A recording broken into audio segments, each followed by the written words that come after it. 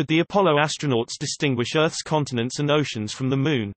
This article Earthshine reflects Earth's oceans and continents from the dark side of the Moon indicates that the difference in reflection of light from the Earth's land masses and oceans can be seen on the dark side of the Moon. Could that difference be seen by the human eye from the Moon?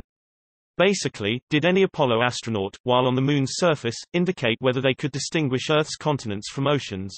Yes, according to Mike Collins. But from lunar orbit, not on the surface. The Earth is seen from this distance, nearly a quarter of a million, Miles, is an unforgettable sight. To begin with, it looks tiny, the size of your thumbnail held at arm's length. It is mostly ocean and clouds, the blue and white dominating, the brownish-green of jungles, mountains and plains. The only land mass that really stands out is the North African desert, especially the oxide-rich, reddish Atlas Mountains.